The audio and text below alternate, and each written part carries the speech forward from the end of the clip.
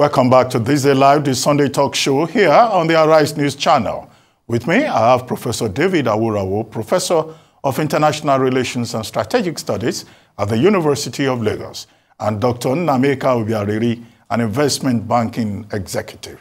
Gentlemen, thank you very much for uh, joining me. We've had two guests, uh, Captain Umar Aliyu Babangida commenting on the killing of 16 military personnel in uh, Delta State, and also Mr. Dankunle, who was commenting on the proposed probe of the Ajaokuta Steel uh, Company.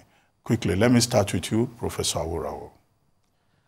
Um, the violence uh, in Okuama, Nokolobo in uh, Delta State, Delta South, and then stretching to Bomadi is very disturbing and uh, is unfortunate. Incidentally, it's an area I'm fairly familiar with. I lived in Warri for some time, and all those areas, Bomadi, Okpara Waterside, and all of that. The riverine part, and then the upland where you have, you know, um, Ughelli, Agbara, Agbaro, and the rest of them. These were ordinarily very peaceful communities for a long, long time, uh, which is why what we are hearing from there is very, very disturbing. Very peaceful, you know, uh, riverine communities and it raises a whole lot of questions. Ordinarily, it was just a communal, you know, uh, disagreement between Guama and Okolobo, um, which one would have expected that will not warrant this kind of violence. And when one remembers uh, the number of military men killed and the caliber, it becomes even more disturbing because it, it, it means that um, small arms and light weapons are there in very large numbers which also means that you know they have sophisticated weapons. You know what it takes to be able to engage military men of that caliber and kill 16 of them. It tests the level of you know um, weapons in the place, and of course the capacity of the people to even to use those weapons, you know, to to, to kill. So I mean, any uh, right-thinking person will condemn it vehemently, and just as others have said, uh, there must be thorough investigation those who have done this must be brought to justice. They shouldn't do this and then just uh, get away with it. Rule of law must prevail in this matter.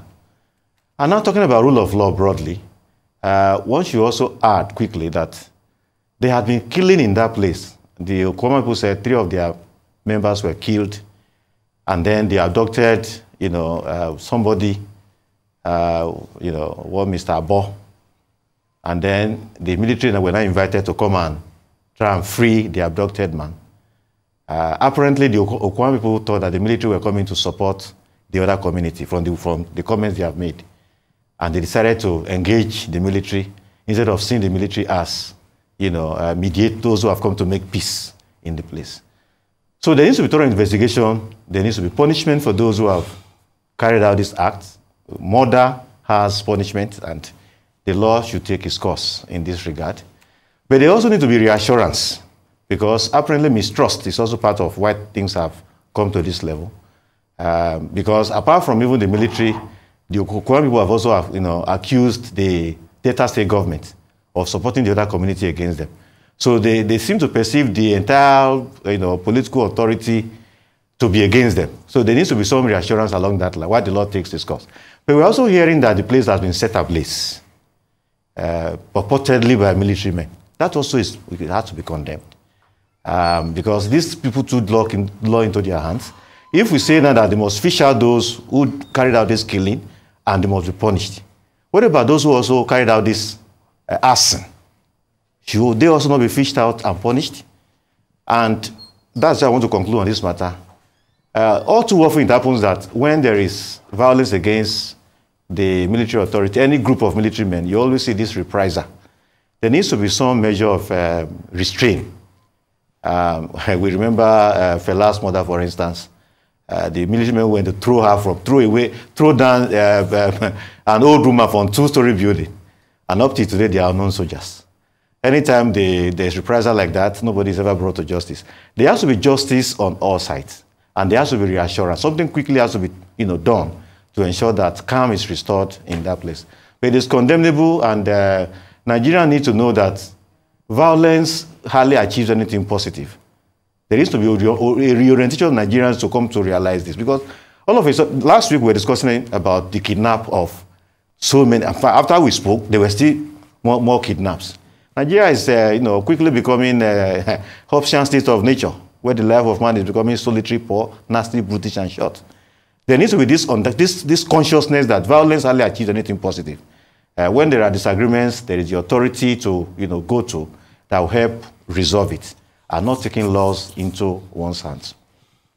Then for Mr. Dankule's uh, submission, uh, I'm enamored by his uh, erudition and his knowledge of, you know, uh, the economy, global economy and Nigerian economy.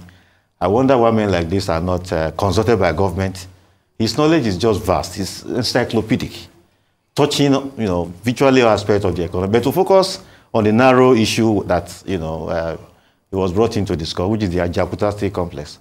Once again, this is, a, you know, it reveals how badly Nigeria has been managed. He spoke about $20 billion uh, loss. I think it should be up to that, if not more. Um, and the way the whole thing has passed on from one government to the other, one group of uh, persons to the other until now, is actually a shame. Uh, under the Abacha government, there was this buyback or no buyback, and when the uh, uh, Obasanjo government came, that was, you know, a, a reversal took place, some other measures were taken. And it has been this flip-flop flip -flop till now. And like he said, it's not limited to only Ajaokuta. You can go on and on. Itakpe, uh, Jeba paper mills, uh, uh, Delta glass, you can name it, uh, Okuiboku.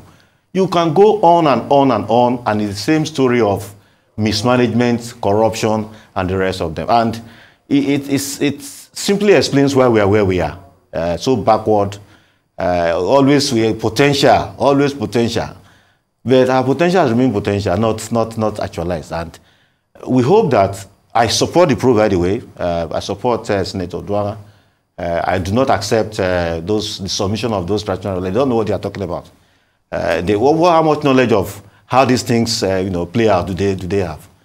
there should be thorough probe. Let us find out how, how we are where we are and what we can do moving forward to be able to get that place running. And others like it.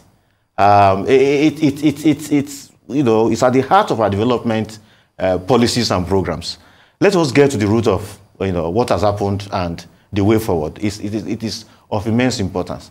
Um, when all of this is done, hopefully, uh, you know, uh, all Nigerians will be the better for it. Dr. Obiaraeri. Um, Dr. Abati, is um, heartbreaking and uh, what happened in Delta State. You know, we've gotten to such a state where everywhere had become so lawless. Two army majors, a lieutenant colonel, a captain, and 12 others. Heart wrenching. And that's also, we have to look at how we can improve on our security and the domestic justice administrative system. Ordinarily, one would have expected the police and uh, the DSS to be the ones responsible for trying to provide this kind of peaceful settlement of community disputes.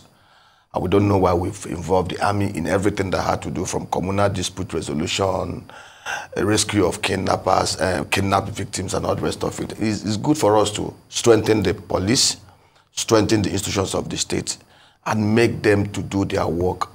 The military had been so overstretched, and they, it's not right every time we are losing our gallant military men. Nigeria is not at war from an external aggressor. And I think the government of the day must probe to get to the root of this matter. Everyone who is culpable must be brought to book. And again, the issue of reprisal, we need to retrain our military men to understand that you do not achieve military, you do not uh, procure intelligence and the confidence of the people when you go on. I'm sure there are many innocent people who have lost their houses, lost their means of livelihood because of the activities of some hoodlums, some bandits, and some terrorists who perpetrated this act. Both actions are condemnable and should not be allowed to repeat itself again. And then on the issue of Ajaokuta Steel, I know it's another thing that explains why we are where we are today. An industrial complex that was built to help drive industrialization of Nigeria over how many decades now? We've not yet found resolutions to that challenge. And I also want to believe that the Senate probe is very altruistic, that they are not probing from the place of selfishness. They are probing with the intent of finding lasting solution on how we can revamp and uh, transform that place to serve the purpose for which it was established. Interestingly, most of this industrial complex were built under the military. We, if you look back over the last 24 years, one cannot pinpoint to any tangible thing that have been done in terms of infrastructure over the last 24 years. Most of the achievement that we had was under Obasanjo, from the GSM revolution um, to some of the institutional transformation that we have. Since 2007, I cannot point out to anything. Even the petrochemical plant and refineries that we have built, we have built in 13 years under the military regime. It was the military that built it, from Yakubu Gowon to, to Olusegun Obasanjo to Babangida. Those refineries were built in 13 years, but 24 years we can't even repair them, talk less of putting them to work. Now they promised us that they will come on stream in March. We just pray that they come on stream in March and again that they also, but for us to make this country work, we need to look at how we can strengthen things. We need to privatize those refineries and petrochemical plants. Obasanjo understood the importance of privatizing them in 2007 when he handed over to the Blue Star Consortium, led by Aliko Dangote, Femi Otodola, and the rest of them. If that exercise was not reversed under Yadwa, by now we would not have been where we are today. We need to put the Warri refinery, the Port refinery in a bucket and allow the NNPC to sell down 80% of their shareholding to deep-pocketed private investors. I will even prefer there are many downstream local operators that can easily revive that place, reform it, and will start producing. And I even want to suggest, even on the upstream, we also, this NNPC need to divest wholly. Federal government need to divest 60% of their shareholding in NNPC Limited. Look at NNPC. Asset size $58 billion. Over how many years? Look at Petrobras. Petrobras today is only owned 28.6% by the Brazilian government. The rest are private investors and other shareholders. Petrobras was founded in 1970. Petrobras last year had a turnover of 126 billion. That was their 124 billion. That was their revenue in dollars. Their profit was 37 billion dollars. Their total asset base is 174 billion dollars. Petrobras does about 2.3 million barrels, include oil assets. And if we can do this, and which is the most important step to take, federal government of Nigeria, please, we, we want to plead and beg them.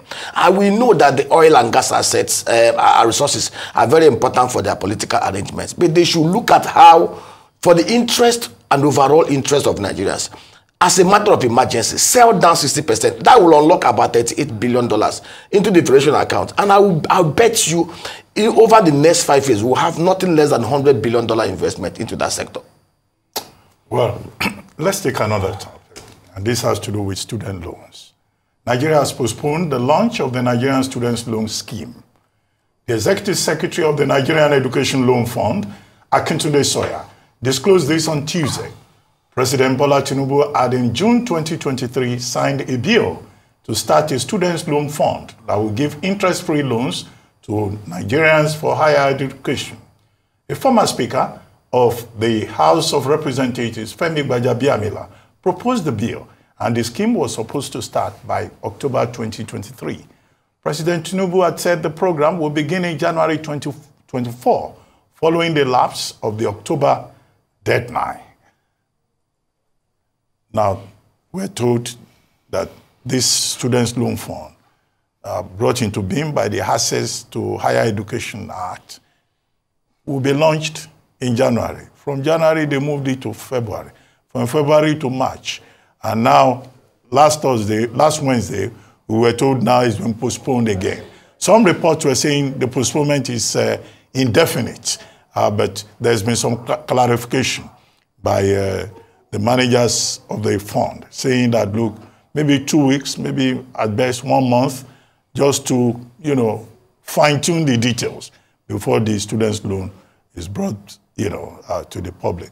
Uh, but what do you think? Some students are saying they don't, they don't even believe that uh, government is serious about the loan. Why is it being postponed again and again? Shouldn't they have worked out the details before announcing it to Nigerians? Let me start with you, Dr. Biareri. I know it, it's, it's so painful that uh, we, in this part of the world, especially Nigeria, we have not placed so much emphasis on education. And it's even heartbreaking that we're talking about 15 billion naira only for over 6 million of our children in tertiary institution, not as grant, but as loan. This is a country that budgeted 15 billion naira for library and books for 469 members of National Assembly. This is a country that budgeted 6 billion naira for car parks. Yet we are struggling to provide just paltry 50, um, 15 billion naira. 50. It's 50. 50 billion 50 naira. billion. Even 50 billion is nothing. I, I, I want us to look back. You know, we talk about um, Engineer Kunle says something very striking. If you go back to 1965, I was looking at the development of Singapore, development of South Korea, and even China. As at 1965, Nigeria had GDP per capita that is better than that of Singapore, that of South Korea, even that of China. As at that time, literacy level in um, South Korea was 57%. Literacy level in China was 60%. Nigeria was the same level with them. These countries, what did they do? They pursued education. They understood the importance of knowledge. The Chinese revolutionized it. It's Singaporeans. By 2005, literacy level in China was 98%. That of Singapore, 98%. And if you look at it, Singapore today is a first world country. Education was very, very key. I, it bothers me that a country that has 20 million kids out of school, a country that has an education system that have lost so much in quality, cannot budget 25 to 40 percent of our eh, expenditures every year on education and the health social investment. Abia State and Delta State, I think Enugu State, and some of the states have seen their budget. We actually budgeted 20 percent, 25 percent of total education. Look at South Africa. Out of a budget of 125 billion dollars for the 2024, South Africa budgeted 25.8 billion dollars at the federal level for the education sector. And South African universities are among the top 10 in the whole of Africa. No Nigerian university ranks among that top 10. Yet, despite the fact that they are far ahead of us, they still budgeted 20% of their national budget on education. I think we need to prioritize this. It is heartbreaking, it is heart wrenching. Education, there was a time in Nigeria in the early 60s, people come from all over the world to University of Ibadan, to Ife, to University of Nigeria, Soka, for quality education. Today, are, most people have abandoned those public institutions because of the quality of education, because we are not funding education. I expect us to have at least a fund of nothing less than 500 billion naira for scholarships, for, for grants, for very highly intelligent Nigerians who cannot afford it. China moved most of their people. Some went to uh, MIT, some went to Harvard, some went to Cambridge. And in 25 years, through knowledge and ed- education, they were able to move 700 million people out of poverty in a space of 20 years. In Nigeria, we've moved our poverty from 4 million in 1980 to today about 133 million because some of even the violence we have today insecurity is all down to lack of knowledge all down to illiteracy when you educate educate a nation you empower a nation most of our diasporans today are contributing massively. Look at the other way. Nigerian medical and dental council trying to do all manner of shenanigans to restrict medical practitioners from traveling out of nigeria. In a country where we think proactively our greatest export is our human beings. What we should be doing is to see in every local government area we should have a nursing and midwifery school that meets international standard. So that if we need one million of them and we produce two million we will ship one million out just like the indians and chinese are doing they will go out there acquire more knowledge acquire more skills bring in the indian dollar into this economy. But we are not being scientific. And of course this thing cuts across the federal level the state level and local government level. We want to beg those. And kunle said it here the political infrastructure in nigeria is so weak. Our greatest challenge in nigeria is the will and patriotism of the politicians to do what is and we want to plead with them. Some of us are tired of talking. We want to keep on begging do the right thing let this country work Prof. Uh, you, know, loans. you know, that's my constituency. um, and I have first-hand uh, you know, information uh, regarding what uh, this postponement uh, has cost and is costing. Uh, you know, initially we said that, uh, you know, schools increase, I mean, they introduced uh, all sorts of levies. They didn't call them fees, but those who were paying 19,000 now paid about, paid about 140 to 200,000. Some couldn't, you know, resume really. Uh, some who resumed uh, have dropped out. Some are still struggling. They not finish the paid part. They will struggle to pay the other part when second semester comes. Things like that. You know, we have said that government needed to uh, put this loan uh, uh, in place before schools would commence introduction of fees. Even though they didn't call them fees, but there's no other name to use to you know describe them. But again, we said the government put, I mean, the schools and the government put the cart before the horse. because the consequence will be that students will drop out, and many have actually indeed dropped out. At the other time, one uh, student from my faculty uh, was written in a newspaper, disappeared. They thought he was lost. uh, he surfaced last week and said, ah, I went to hustle for money. I wanted to write my exam, and exams were around the corner. Uh, sorry for not giving information that uh, of where I, my whereabouts. Um, it looked comical, but it, it, that, that is just that exemplifies what is happening in, in the system. So for government to continue to postpone this over and over again is so disheartening. And you know, I've been saying this, you know, on this program that uh, it seems so difficult for government to act when what is involved concerns the poor. And that is something that this government must work to overcome. Uh, because a government of activists is not supposed to be, to, you know, leave the poor behind. Um, so it, it is disheartening, and if they say two weeks, they should put everything in order and launch this thing. Let it begin. To, I mean, let, let, let, it begin to, to work. And those details we pointed out before, because I don't know the framework now, uh, where some of the things that you know are requested are things that those children will never get, children of the poor will never get. That you're going to look for somebody who's uh, uh, level 15, level 16 to sign, and to indemnify. As the policy, I don't indemnify. Once you bring a form to me, and it has indemnification. In fact, I had a, cause, a, a, a relation that was arrested, and they brought something and said, I don't indemnify for anybody. It means that if the person is not found, you will be held liable. In fact, when the police, the policeman can say, Do you know the meaning of this word indemnification? He laughed. That thing is in that was on the original one. The one that is to be launched now, I hope it is not there.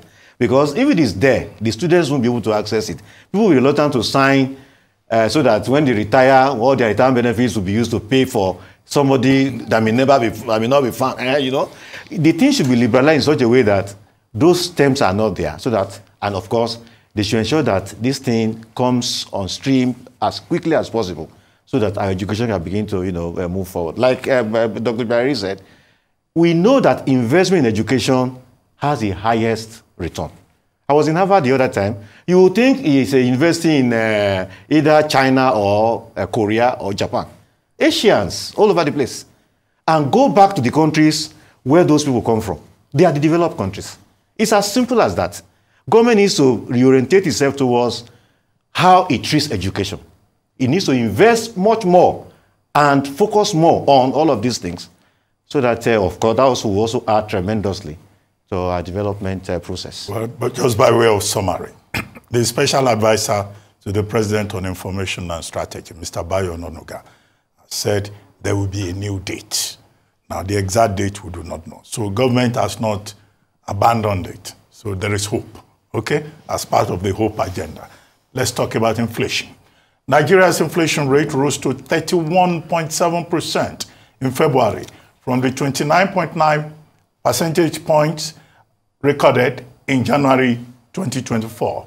This figure indicates an increase of 1.80 percentage points, the National Bureau of Statistics said in its latest CPI and inflation report released on Friday. This indicates that in February 2024, the rate of increase in the average price level was more than the rate of increase in the average price level in January 2024. Well, uh, Professor Aworawo, let me come back to you again. The part of it that I find uh, instructive is that uh, food inflation has gone up to 37.92%. And the food items that are affected, rice, beans, cereals, fish, you know, basic things that people uh, put on the uh, table. So we're finding it difficult to feed. And that is further compounded by energy costs, by transportation costs. I hope a time will not come when even university professors will not be able to feed themselves. Prof. I think we're already there. we already you there. don't look underfed. we already there. You look well fed uh, well, in spite of the inflation. Uh, well, um, we're already there. There's hunger in the land. And the presidency is aware. I mean, when the president came to Lagos, the clarion call was big wow. And that's how to say, I'm hungry. Everywhere they go to, they, you know, welcome, we are hungry. When the first lady went to Kano, after the greeting, the next thing is, I hope you are aware we are hungry. So the issue of hunger in the land uh, is clear. Let me just make you laugh. As I just as I was driving in, uh, somebody is in the market trying to buy garri. The money is not enough. I just transferred ten thousand to that person to be able to make up the money she took to the market to be able to buy the Gary. So it, I not, think I know this somebody. I have an idea. It could be anybody. so, but the point I'm making is that it is real. It is not. Uh, we are not just quoting figures. I mean, when the person went last, the, the amount the person took there, I mean, it just added some amount, thinking that that would be adequate, but it's not. The thing has gone up to high heavens. So it is, it is real. Um, and government really needs to, it's something government needs to focus on very seriously. The idea of uh, sharing some food items here and there that government is doing well, um, at least some people will get some things to eat from it. But beyond that, something has to be done about this. And you know, we, we talked about this the other time that eh, it not uh, really paradoxical that uh, we are talking about not being able to feed ourselves in Nigeria with all the arable land we have? Security is one of those things we, we, we admit. But apart from security, people see simply do uh, subsistence farming, where people have gone, you know, mechanized. You know, how many mechanized farms do we have across the country? And why has government not you know, paid attention. Not this government, I mean, we are, we are saying that it's not too late to start. Over the years until now. Uh, so it is real, there is hunger in the land, and uh, it's something that government must put at the top of its agenda. When people are not well fed, of course, uh, there's, there's, a theory frustration, anger, aggression. When people cannot get their basics, um, one, one uh, uh, writer says these needs are ontological are non-negotiable, when people cannot feed themselves, those basic things. And uh, uh, the government must put this at the top of its uh, activities to ensure that uh, uh, things are done such that at least people can meet their basics, without talking about uh, those ones that we can call luxury. Okay, Dr. Obiaraeri, um, what's the way forward? Yes. Next uh, MPC meeting, yes. there should be further tightening. Uh, no, no, That's no, what most no, economists would say. I think we need to profile credible solutions, and it's very simple.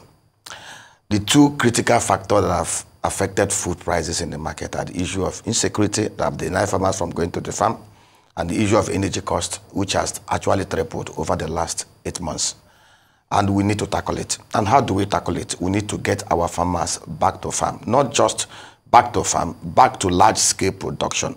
And we need to provide security to provide, protect them all the way. And how do we provide security? I have made this suggestion and what we can do. Currently, security is very indigenous. Our military men are overstretched. Mr. President promised us 50 million youths in the army. 50 million is too much. I have made this suggestion. It's very simple. Every community knows those who are the bad, the good, and the ugly. Let the community select 100 of their sons in every of the electoral wards in Nigeria. It's going to serve two purposes. They are going to provide security for the clusters of agri-parks that we are going to be developing in every ward in Nigeria. They are also going to help us to secure every inch of Nigeria. Military will take this use. They are part of the military. They can call them the military agro rangers. They can call them whatever, but they are part of the military. Trained, properly equipped. We've run the numbers. It will not take us anything more than 3 trillion to do this. But these monies will be returned and repaid even to the complexes that will be established. Posted back to their communities to enable farmers. Then, I saw what the federal government did. There was a proposal we sent on how we can mechanize agriculture set up clusters of mechanized agriculture where in every of the electoral wards have the usual bulldozers. There was some Chinese I was talking to. Their cost of their bulldozers actually half of what they would do will get from UK or Germany. And it's equally powerful because that's what they use in their own agri complex. Get the basic bulldozers that will help clear the land. Get the basic tractors, very cheap tractors from the same Chinese in every word. It's not it's not like what the federal minister of agriculture, uh, minister for agriculture is trying to do. If you import 10,000 tractors under the public sector arrangement, it will be destroyed. Get people to bid for it. The monies will be borrowed 1.1 billion dollars through the Nigerian Sovereign Wealth Investment Authority, who provide guarantees. Those people selected bidders, qualifying Nigerians that can make those clusters, let them take those equipment and pay over seven years. Farmers will borrow it. In every of the electoral wards, we can be able to develop at least 3,000 acres of new upstream farm gates and set up clusters suppressing um, this thing. For example, rice. Rice is something that can be done in six months. It's not a one-year crop. If we decide today to do one million clusters of rice uh, paddy uh, rice um, upstream, the Geri species in Egypt, by the end of the next five months, we'll be harvesting nothing less than 12 million paddy rice we will process enough rice. We've, I ran the numbers. If we do even 500,000 hectares of the Geri species, that does about six tons per yield.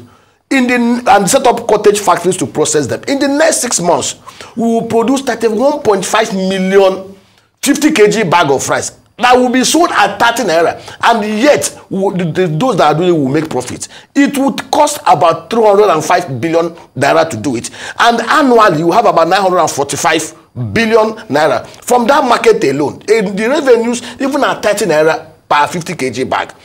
The governors have to do this. It's not the presidency that will do this because the land still belongs to the governors. So provide security provide the clusters provide the mechanized arrangement under a private public partnership arrangement not a public sector driven thing. The other day they gave 100 billion naira for people to go and buy fertilizer. It is not going to work. You akinwumi adesina did it. They are every farmer registered and they are wallets. Direct to them and not through ministries. So we need to do this thing and fix this land. Inflation will come down when we tackle the source of those inflation. Insecurity lack of production and we can do that using these simple solutions okay, let's take one more topic. President Bola Tinubu on Wednesday directed the opening of Nigeria's land and air borders with the Niger Republic, as well as the lifting of various sanctions against the country with immediate effect. A statement from Special Advisor to the President, Ajuri Ngelale, noted that President Tinubu's directive was in compliance with the decisions of the ECOWAS Authority of Heads of State and Government at its extraordinary summit on February 24, 2024 in Abuja. During that summit, ECOWAS leaders had, among other things, agreed to lift economic sanctions against Niger Republic, Mali, Burkina Faso, and Guinea. The Nigerian leader also directed the lifting of suspension on all commercial and financial transactions between Nigeria and Niger, as well as the defreezing of all service transactions, including utility services and electricity to Niger Republic. Well, this is again right down your alley, uh, Professor Awurawo.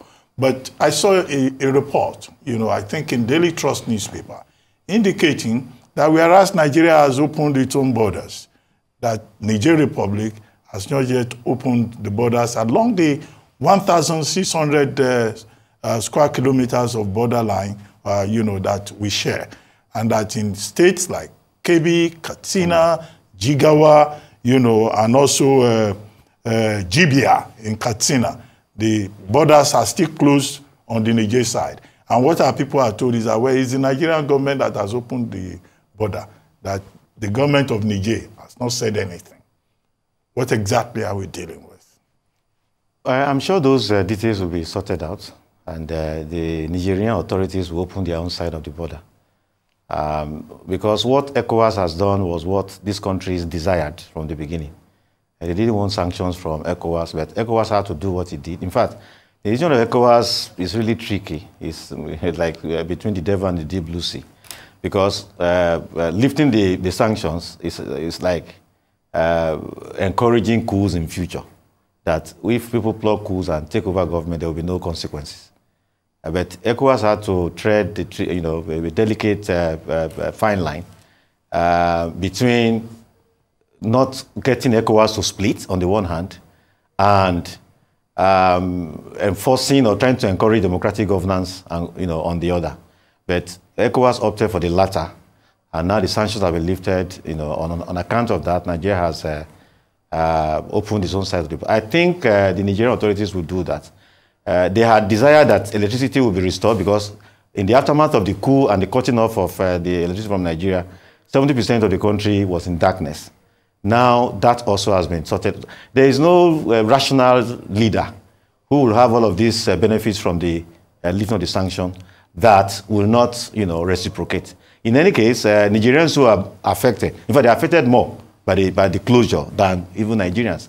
So if Nigerian side has opened, we are showing that they will be able to negotiate and sort and sort all of that out. But it's a good thing, uh, but we hope that uh, these leaders, because they are trying to form a league, they are still maintaining their hard line. For instance, Niger just uh, a day or two ago has ordered the Americans to, you know, uh, military to leave the country. So they are still maintaining their very tough and hard line.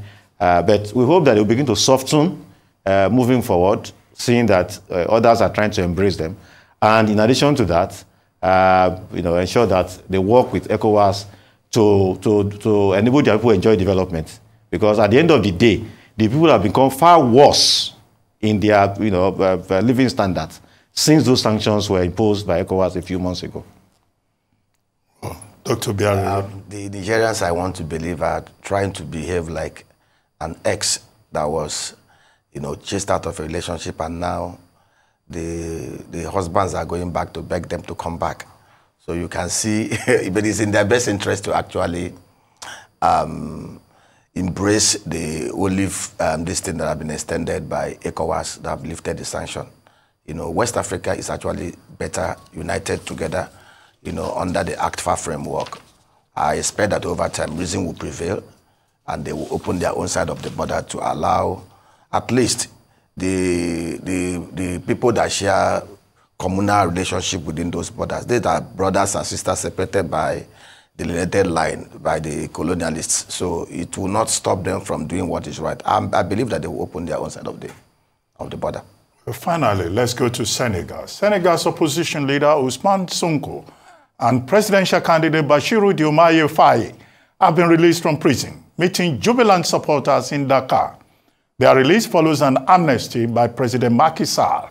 Faye, a candidate in the upcoming elections, is expected to start campaigning. Despite his imprisonment, Faye is considered a favorite.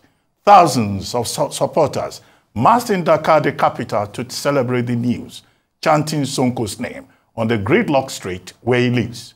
Some lit flares, danced, or tooted their motorbike and car horns. Sonko, a prominent opposition figure, was jailed last year on what he called false charges to prevent him from running. Despite the amnesty, Sonko will not contest the elections. Now, Senegal goes to the polls March 24. 19 presidential candidates, one of whom is a woman, 7.033 million uh, voters out of a population of uh, 18 uh, million. And already ECOWAS has sent an observer mission led by Nigeria's Professor Ibrahim Gambari. The concern of the international community is that you know, the uh, process will be free and fair, and that by April 2, Macky Sall will vacate the office as uh, the Constitution stipulates and as upheld by the Constitutional Court. Professor Aworawo. Well, well uh, what is happening um, in Senegal is, uh, is good. Uh, again, when we talk about the rule of law, uh, the Constitutional Court helped to clear all the mess. You know, everything was like in a state of flux up to that ruling.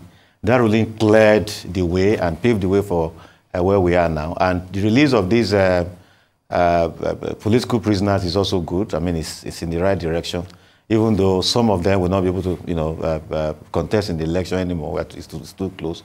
Uh, some others, you know, will. Um, the tension that gripped the country, you know, has now gone down. Um, you know, uh, and of course, when the new government comes uh, early April and uh, uh, Sall leaves, hopefully there will be stability in, in Senegal. If that plot to uh, perpetuate himself in office up to December or even longer had been there, the country would have been plunged into uh, crisis and, uh, uh you know, uh, one of the stablest countries in West Africa up to now will have been plunged into crisis. So we're happy that uh, things are in the right direction. The rule of law has come to prevail and we can only wish the Senegalese all the best. Doctor? There is nothing like free, fair, and credible elections. And it's good that um, um, Macky Sall is going ahead with the election. But uh, again, Sonko should be allowed to contest. You know, this issue of trying to deny... His party, PASTEF, had been dissolved. Exactly. So it's last year. This issue of trying to deny opposition the opportunity of contesting is not appropriate for a democracy. Look at what happened in America. They tried everything to deny Trump from being on the ballot. The U.S. Supreme Court ruled 9 over 0 that he should be allowed, 9 to 0 that he should be allowed to be on the ballot. Let the people decide through the ballot who they want to be their leader. You, all this political shenanigans in Africa should stop. Why we have military incursions in some of these West African states is because of the same issue of lack of rule of law and all those stuff. Yar'Adua enshrined it when he was president. And it's good for people to go out there, contest, say your manifesto, say your programs, and let the people decide who will be their ruler. Well, thank you very much, Dr. Obiaraeri, and thank you very much, Professor Aworawo. You've been watching This Day Live, the Sunday talk show, here on Arise News. I'm Reuben Abati. From my entire team here in Lagos, bye for now, and thank you very much for watching.